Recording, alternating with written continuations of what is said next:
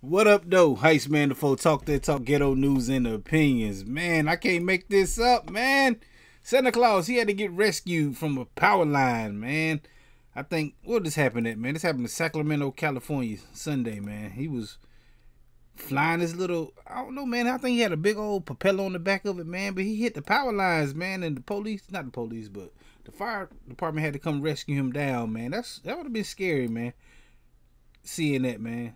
I mean, being in it, not seeing it, like I can watch it from a distance, but if I was him, man, like I'd be scared to move. I'd be scared I'm gonna get electrocuted.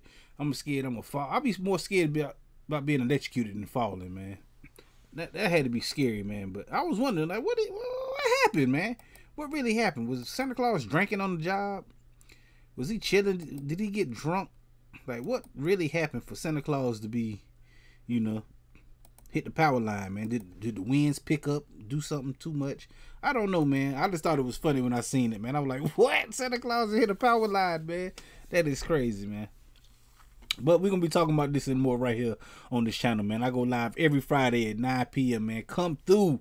Um, hit the like button, the comment button, the share button, the subscribe button, the the notification bell, all those good buttons you gotta hit to get this pimping that I'm putting out when I put it out, man. Y'all gotta mess with me, man. That was funny though, man. That was really funny to me. Y'all gotta join the conversation, man. Friday night, 9 p.m. Heist Man the. Talk that talk, ghetto news and opinions.